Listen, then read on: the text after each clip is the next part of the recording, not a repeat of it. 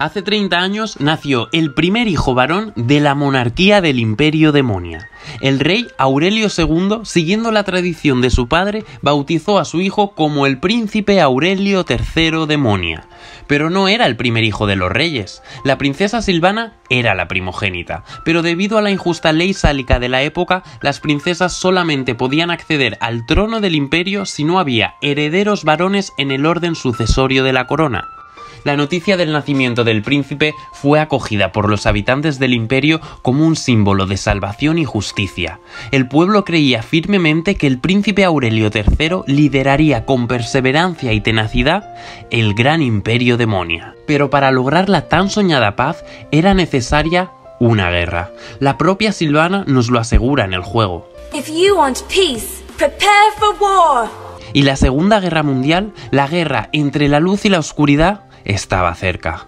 De allí venía toda la ilusión depositada por el pueblo en el príncipe recién nacido. El castillo imperial lucía más bonito que nunca. Hasta sus habitantes se animaban a hacer fiestas. Los nobles del imperio visitaban constantemente al príncipe para obsequiarle con regalos, mientras que los caballeros imperiales ya estaban preparando estrategias de lucha para cuando el príncipe creciera. Pero el horror y la desgracia sacudieron a los monarcas del imperio. El día del primer cumpleaños de Aurelio III aparecieron muertos los guardias encargados de custodiar los aposentos donde descansaba el príncipe. La habitación estaba repleta de sangre, con marcas de garras cerca de la cuna del bebé.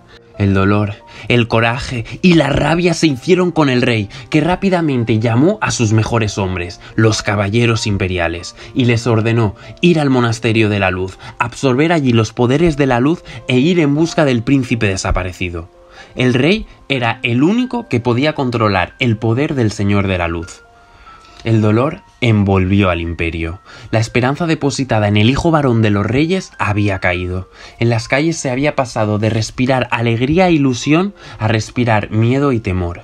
Los días pasaron y no se encontró ni una sola pista del príncipe, ningún tipo de rastro al que seguir, nada. ¿Qué iba a ser del imperio demonia ante la guerra que se acercaba contra los demonios del abismo sin su príncipe inspirador?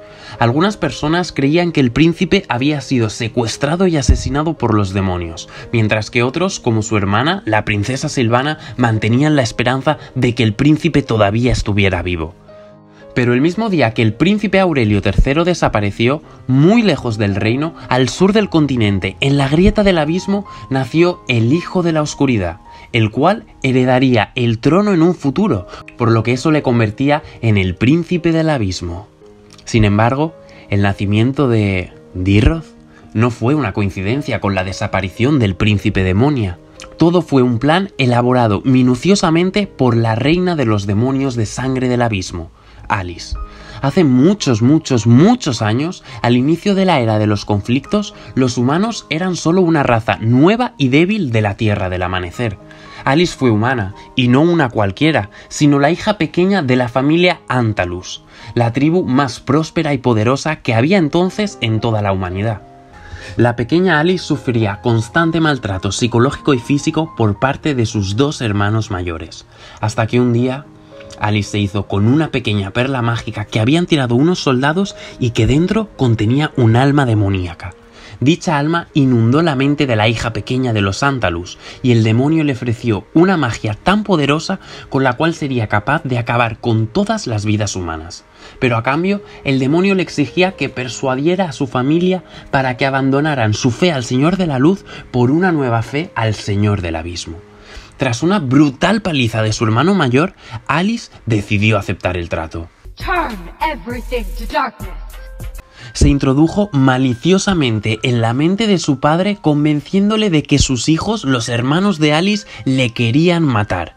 Y a la vez Alice malmetió entre los hermanos y creó desde las sombras una guerra familiar por el poder. Tras ello, uno de los hermanos asesinó al otro y el padre ejecutó al superviviente como castigo, bajo la influencia de Alice. Finalmente, Alice envenenó a su padre y se hizo con el liderazgo de la familia Antalus. Además, convenció a toda la tribu de que todas las muertes y desgracias que estaban ocurriendo eran a causa del Señor de la Luz, que nunca les había ayudado. Los compatriotas de Alice, cegados por el dolor, la creyeron y arrojaron al suelo todos los objetos sagrados. Entonces un rayo de luz cayó del cielo dañando a todos los miembros de la tribu, incluida Alice. El demonio ya había avisado a Alice de que al traicionar al Señor de la Luz habría una dura penitencia. Y esa fue. Alas negras bañadas en sangre salieron de sus cuerpos y afilados colmillos crecieron en sus bocas. Ese día, la tribu liderada por la hija pequeña de los Antalus se trasladó a la grieta del abismo, y así fue como nació una nueva raza de demonios, los demonios de sangre, y Alice se convirtió en su reina.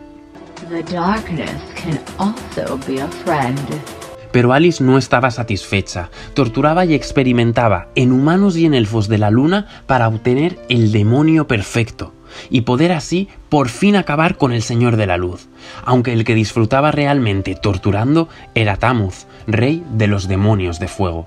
Pero ningún humano ni ningún elfo de la luna fueron capaces de soportar la metamorfosis de transformarse en un demonio. Pero el poder del Señor del Abismo condujo a Alice a una gran conclusión. La familia real del Imperio Demonia tenía el poder de activar los poderes del Señor de la Luz, que residían en el santuario imperial, y que quizá la única hija de la realeza sería capaz de soportar la metamorfosis. Esto es lo que pensaba Alice.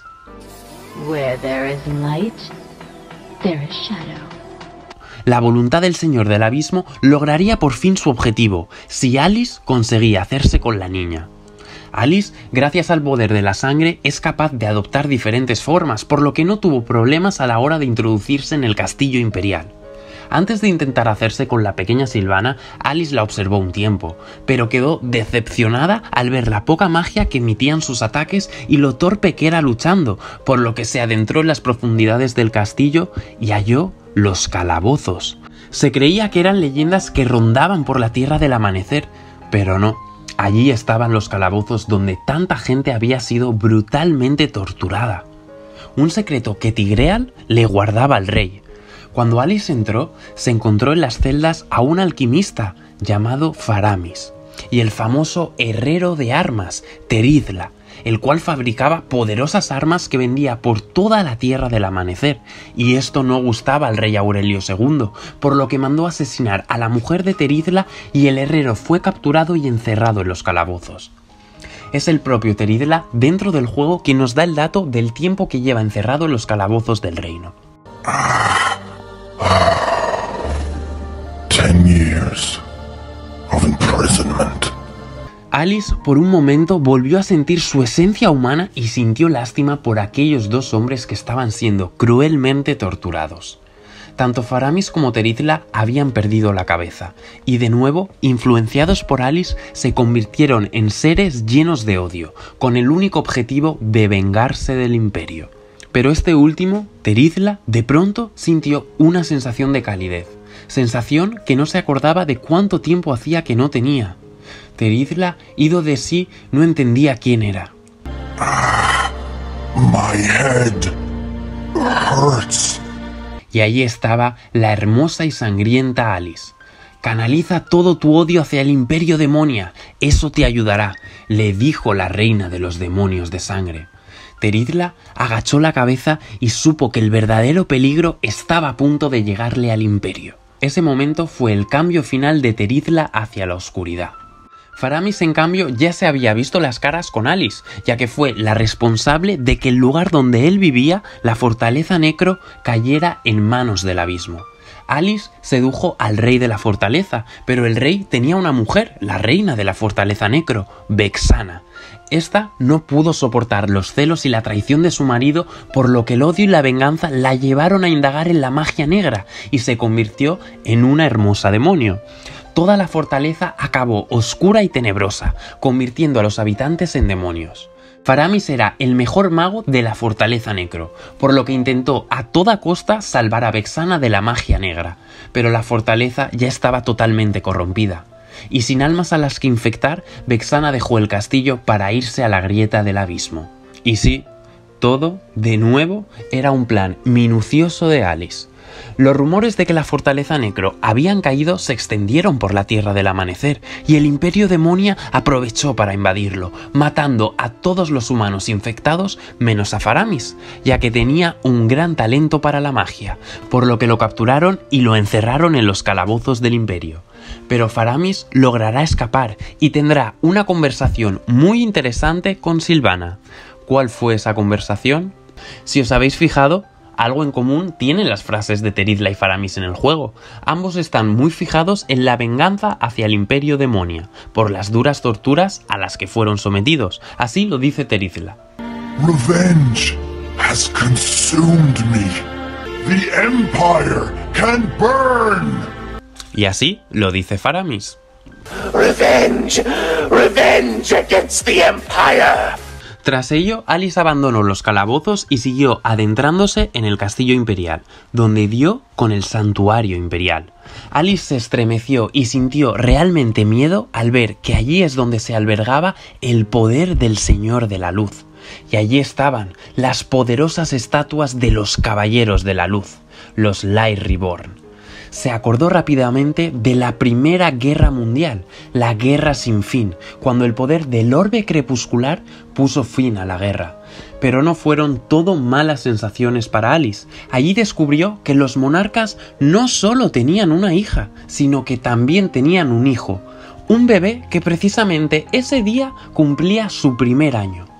Alice no podía sentir mayor satisfacción, el hijo que siempre había deseado tener, poder criarlo desde recién nacido para convertirlo en el demonio perfecto, en el hijo de la oscuridad, el príncipe del abismo. Así que no se lo pensó, mató a los guardias y se llevó al príncipe Aurelio III. Y así fue como nació Dirroth. Paralelamente, Silvana quedó destrozada. Al ver que los caballeros imperiales enviados por su padre no habían dado con su hermano pequeño, le invadió una sensación de burla hacia la inutilidad de los caballeros imperiales y juró entrenar duro, sin descanso, para lograr traer de vuelta al pequeño príncipe. Para la joven Silvana, el trágico recuerdo de esa época era demasiado pesado. Como princesa, Silvana siempre había tenido un corazón repleto de justicia y compasión. Después de la desaparición de su hermano pequeño, Silvana se pasaba los días consolando el dolor que la reina sentía. Se pasaron los años juntas esperando el milagro que nunca llegó. La reina llegó a su límite. El agotamiento tanto mental como físico hicieron que enfermara y que no pudiera salir más de la cama. Tras diez años del trágico secuestro, la princesa Silvana se había convertido ya en una fuerte, inteligente y hermosa adulta. Pero sus padres, los reyes, no corrían la misma suerte. Iban envejeciendo a un ritmo demasiado rápido a causa del gran sufrimiento que habían sentido en los últimos años. Y Silvana, tras la desaparición de su hermano, se había convertido en la heredera del trono, por lo que pronto sería la reina del imperio demonia. Silvana tenía en la sangre el sentimiento más patriota y protector del imperio. Nos lo asegura con la siguiente frase dentro del juego. I will defend the Monian Empire to the death. Pero a diferencia de su padre, ella se guiaba por la justicia y la compasión. Ella desconocía que en el castillo imperial existían unos crueles calabozos. Tigreal se lo ocultaba, ya que Silvana estaba sumida en el dolor, un dolor intenso que sentía cada vez que pensaba en su hermano pequeño. Ella, junto a la ayuda de Tigreal, luchaba por dejar ir ese dolor, pero la tristeza y la frustración siempre volvían a ella. Todas las noches, Silvana soñaba que podía alcanzar a su hermano, pero cuando se iban a abrazar, siempre despertaba.